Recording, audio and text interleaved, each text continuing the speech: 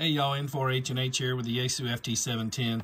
I want to show you a little bit about split mode uh, with this particular radio. It works differently than it does in uh, the FTDX10 and, and for that matter, um, the FTDX 5000 MP that I have. Um, a little bit different with this radio, so let me show you. That. In fact, what prompted this, there's a, he's taking a break right now, but I heard a DX station earlier and he's working split. He's transmitting on 7.168, and then he'll say listening up 5 to 10, and sometimes he just says he's listening up 5. And that is typical, listening up 5 for sideband. If they say listening up, they're typically going to be listening up 5 kilohertz, um, which in this case would be 7.173 um, for sideband. Now, if you're listening to a CW station who says that he is listening up that is typically 1 kilohertz up, although they'll vary all over the place. 1.4, 1.8, 2.1, 1.7. Um, and I've shown you in some other videos how to figure out where they are using your TXW if you have a um, radio like this with dual VFOs but not simultaneous dual receive. Or if you do have simultaneous dual receive, you can actually just go use your second receiver to uh, go find where they're um, listening, and when I say where they're listening, find where the people are transmitting who are getting through, okay? So let's talk about split mode with this rig. The split button is right up here on top. Right up here on top. Let me see if I can get the camera over there so you can see that. Split right there. All right, and uh, so I'm going to, he says he's listening up. That, by the way, that's why I wanted you to see this. Um, so listen to him a minute. Now, on the other radios that I mentioned, all you have to do for split operation to engage it is you just long press your split button, okay? But on this radio, that doesn't have an effect. The way the instructions will tell you to do split with this radio is um, pick a VFO, in this case, so I'm going to receive on VFO A. It's set to the receive frequency of the gentleman that I'm listening to who's working DX. Then I'm going to hit the AB key, so that I'm now on the BVFO and I'm going to move it to 7.173 because he said he was listening up 5.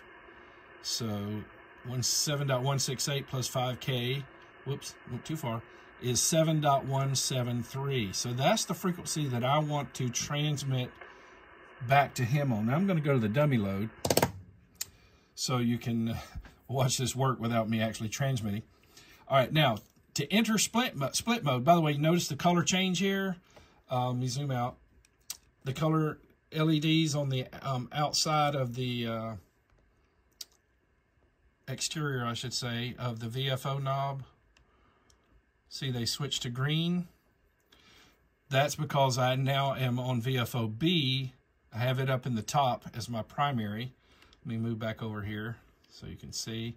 So VFOB is up here in the primary. So I'm going to toggle the AB again. So that puts me back to blue, which is VFOA in the primary. So I'm going to transmit now with VFOB. So notice the frequency here, 7.173. Now I need to enable split mode, which all I do is tap split.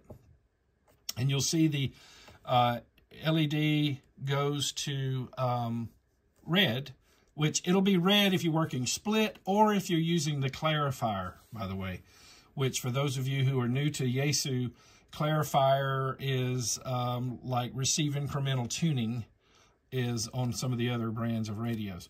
Now notice the color change here. It's letting me know in green that I'm receiving on 7.168. 7.168. Now, I'm going to, while I'm in split mode now, I'm going to long press split and it'll let me know that I'm going to be transmitting. See the red there? I'm going to be transmitting on 7.173. All right. And again, receiving on 7.168, transmitting on 7.173. And you see the little green RXLSB, TXLSB, you got the green and red indicators there as well. Oh, let me show you a, a neat little trick. If you're, uh, you know, I don't know, what the chances are of this happening. But let's say you work this guy and there's another one up the band who's also working a split. You can press the DSP knob here while turning the dial, while in split mode now. And look, the frequencies track together. So I can move up. Let's say there was somebody that posted that they were operating a split on 7.175. Okay, now let go. So now I'm, I'm receiving on 7.175, transmitting on 7.180 by pressing the, the, the step MCH DSP knob while rotating the VFO. You see, these compact radios, the, the buttons and knobs have to serve multiple purposes.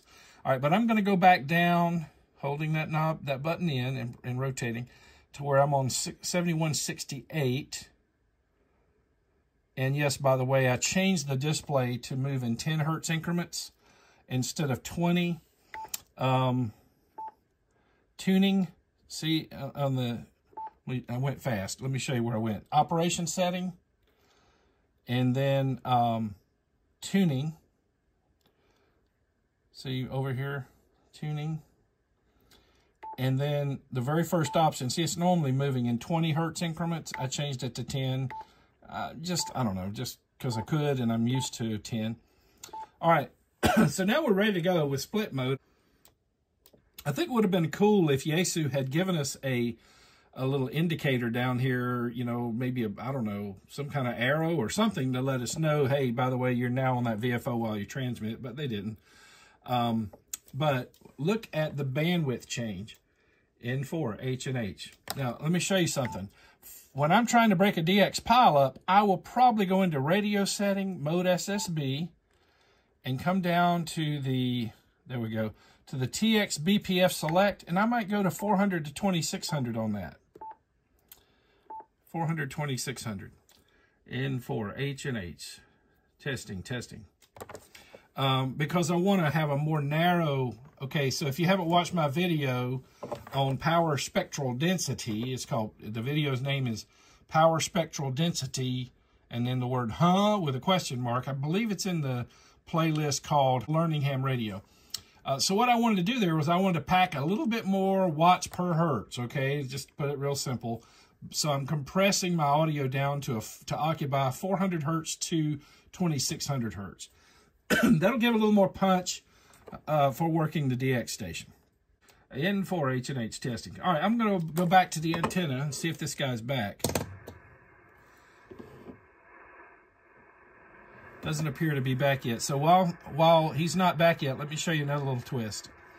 Press the function button. Again, this is all pertaining to operating in split mode. And you're going to see a menu option here called TXW. Now, this exists on the FTDX10 as well, but it was one of those buttons that was crowded around the VFO. In this rig, um, you can't just reach over there and touch a button. You got to go into the menu and, and select it. And you'll notice now that your function knob is now going to be set to TXW.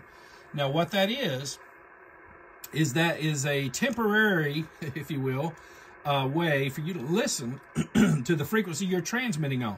So if you want to verify that there are actually let, us say that the people that are getting through to this guy who's working split are indeed transmitting 5 kilohertz up, then you can long press, and now you see what it did? As long as I'm holding that down, I'm now listening to my transmit frequency. Let go, and I'm back to normal operation. Now, honestly, I'll tell you where that would mostly come in handy. When uh, when it's a CW split and they say they're working up you know, and generally that's considered to be 1K, but they'll be all over the place 1.1, 1.4, 1.7, 2.1. I've seen one even more than that. Um, so what you want to do is you want to you want to hunt. You want to go. You hold down TXW, and then you can move around in there and see if you can find the people that are sending that and the, that he's responding to, and then you have found the sweet spot, as I call it, so that's what your TXW is for, for when you're working a split. Kind of cool. Well, he hasn't come back yet, uh, but I'll tell you what, let me recap real quick, because if you're coming off another rig, you're, you're accustomed to holding down split and having it automatically set all this up. In the FT710, you will have to go through that procedure I showed you in, earlier in the video. Tap the A slash B button, set up your receive side in VFO A, set up your transmit in VFO B, separately from being in split. See, just A. Now I'm on VFO B. I use the VFO to set it to five kilohertz up from where I'm going to be listening, because this will be my transmit frequency, AB again, and I'm going to set it to the receive frequency. And then when I go into split, um, I now see the little green for the receive frequency, the red for the transmit. And if you hold down split, see, it's going to light green for the receive frequency just to indicate, hey, this is the frequency you're listening on. And then if you hold it again, it's going to light red for the frequency you're going to be transmitting on. Okay? And um, to, to finish split, you just tap and you're done. And again, remember the LEDs on each side of the VFO are going to indicate that you're in split, okay? Remember, if you're not in split, they're blue for VFO A, green for VFO B, all right? And then if you're using the clarifier, you get a red, all right? And you also, if you're using the uh, split, you are going to get a red, all right? So uh, the final thing was function knob, TXW, and then that's going to now be the, the control you're going to get with the function knob when you long press it. And that's going to allow you to listen to your transmit frequency, which is the 5 kilohertz up that the DX station said, you know, he was listening, listening up 5K. Well, this way you can long press, and now you're temporarily, as long as you're holding that knob in, you're listening to the transmit frequency so you can verify, yeah, those that's where the other stations are that are getting through to him. And again, that's more important with CW because they don't always listen exactly 1K up. Remember, the standard for CW, if they say listening up 1K. The standard for sideband, if they say they're listening up 5K. Um, okay, so I hope you found the video helpful and informative.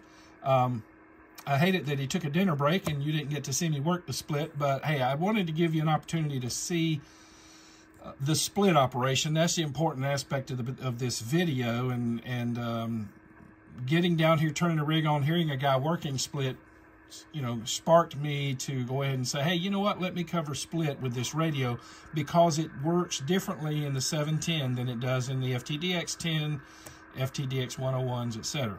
So hopefully uh, this will help you out if you're a DX chaser and you're out there, you know, where these guys typically do uh, if, if you're going to hear somebody working split, it's going to almost always be a DX station.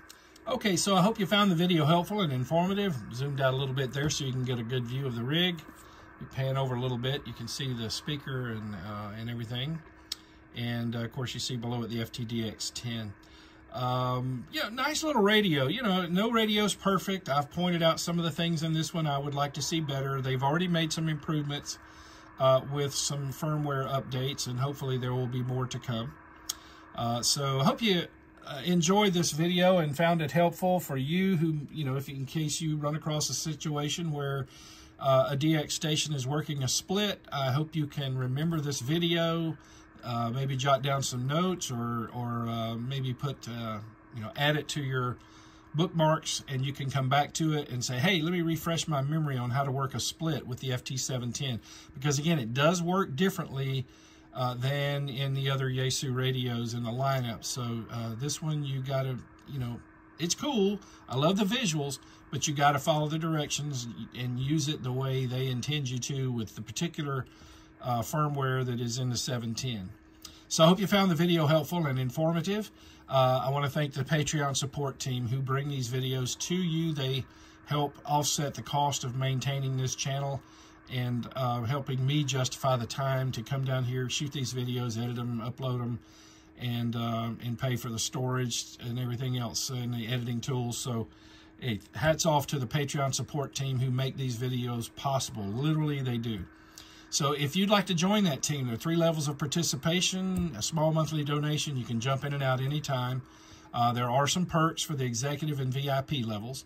Uh, if you want to join, go to www.patreon.com forward slash N4HNH. That's patreon.com forward slash N4HNH. And if you would please give the video a like, subscribe to the channel. If you do subscribe, be sure to click that notification bell so you won't miss another video. I generally upload a couple of weeks, sometimes more if there's important news I want to share. And finally, if you would, uh, share a link to this video on social media, text message, email, or phone a friend. Hey, thanks for watching, and 73 from N4HNH.